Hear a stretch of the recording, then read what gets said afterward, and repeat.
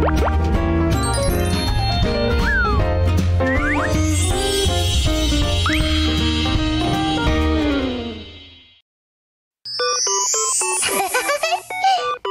이제 어엿한 고등학생! 고등학교에선 정말 열심히 공부해야지! Hey mama, hey mama, hey yes I'm be your woman, yes I'm be your baby, yeah! 입시엔 학교 활동도 중요하다지! 시험은 못 봤지만 아직 1학년이니까 모의고사는 성적이 들어가는 것도 아니잖아. 좋아, 2학년부터는 진짜 실전이다. 기말고사는 진짜 열심히 공부할 거야. 1학기부터는 꼭 보여주고 말 거라고.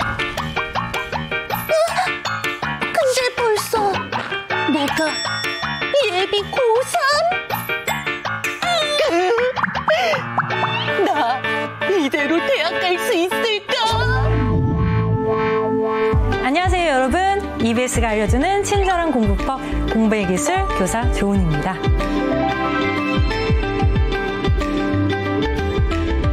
자, 엊그제 고등학교 입학한 것 같은데 벌써 수험 생활이 코앞으로 다가왔죠. 이 시간에는 이런 학생들을 위해서 공부의 효율성을 최대로 높일 수 있는 입시 접근법을 알아보도록 하겠습니다. 그래서 이 시간 함께 해주실 전문가 선생님을 모셔보도록 하겠습니다. 선생님 안녕하세요. 안녕하세요. 예, 오늘 우리 학생들을 위해서 입시 여행 가이드로 왔습니다. 예, EBS 정재원입니다. 반갑습니다. 네, 반갑습니다.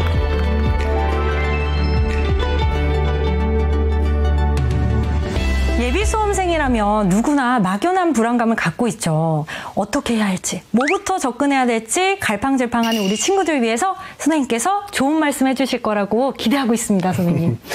예, 어, 입- 수험생이 된다는 거 사실은 뭐 정확하게 따지면은 우리 희망을 이루는데 한 발짝 다가섰다 이렇게 볼 수가 있거든요. 그래서 우리 학생들이 어, 수험 나 수험생이야 하면서 너무 어, 힘들어하지 마시고 수험생을 좀 긍정적인 마인드로 바라보셨으면 좋겠습니다. 선생님, 그러면 예비 수험생으로서 기억해야 할 것들이 있잖아요. 예. 첫 번째로 어떤 것이 있을까요?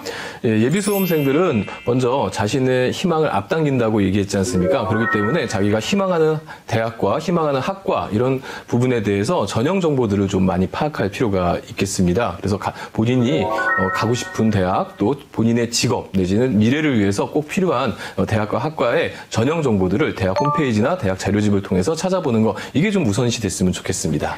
그런데 선생님, 이 입시 전형이 시시각각으로 변하는데 꼭 미리 알아둬야 될 필요가 있을까요?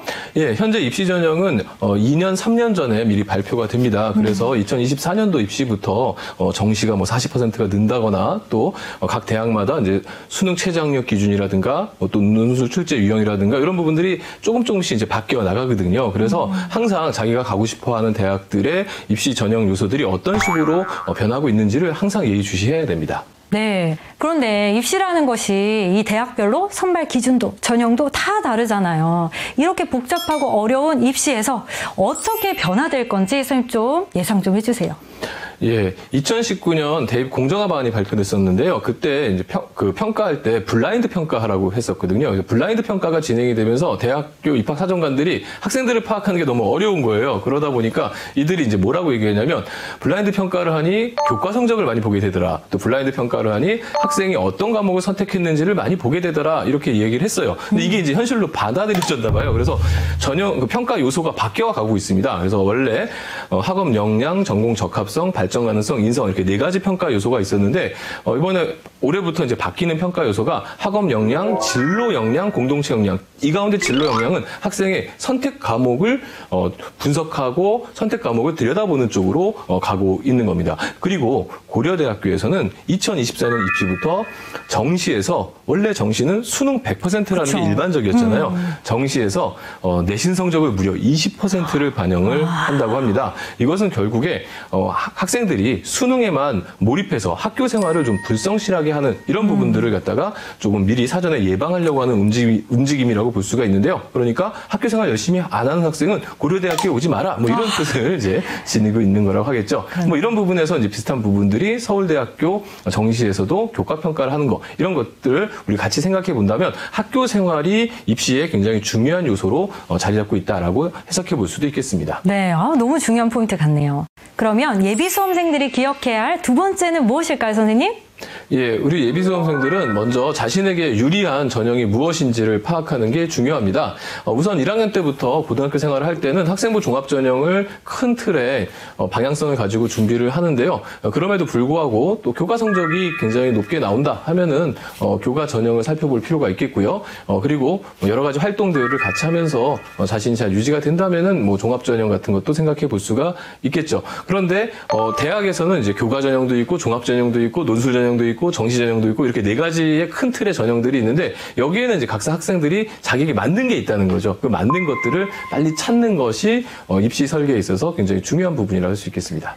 네, 수험생에게 1년은 길고도 짧은 시간이기 때문에 자신에게 유리한 전형을 미리 파악하셔서 1년을 좀 더 탄탄하고 계획성 있게 보내시면 좋을 것 같습니다.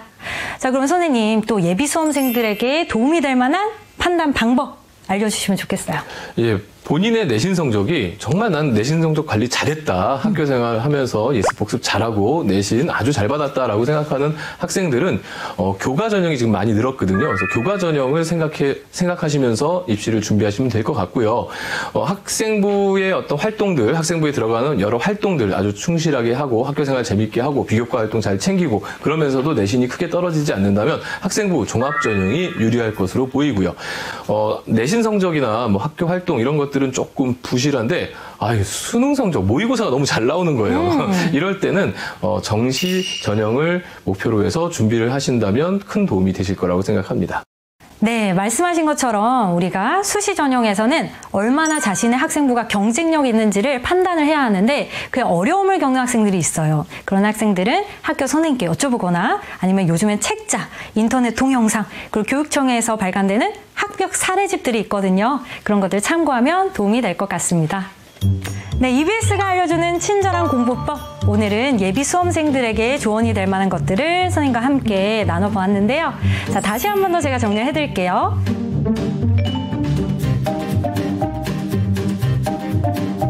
이 정도면 우리 예비 수험생들이 수험 생활 전에 미리 많은 준비를 할 수 있을 것 같습니다.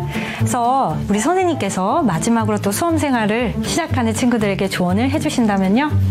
예, 고3 생활이 굉장히 바쁩니다. 예, 고3을 올라가면은 모의고사 준비해야 되죠. 수능 준비해야 되죠. 내신 관리해야 되죠. 활동 준비 다 해야 되죠. 그러니까 너무 바쁘거든요. 맞아요. 그래서 우리 고3, 고3에 올라가기 전에 그 겨울방학을 굉장히 잘 이용하셔야 됩니다. 그런데 고3 겨울방학 이렇게 얘기하면은 이 겨울방학 방학식을 기다리는 친구들이 있어요. 어, 고3 겨울방학이라고 하는 것은 2학년 2학기 기말고사가 끝남과 동시에 시작되는 것을 말합니다. 그 기간 동안에 어, 3월 달 보는 모의고사를 수능이다 생각하고 준비를 잘 하시게 된다면 고3 수험 생활이 훨씬 더 여유로워지실 거라고 믿습니다.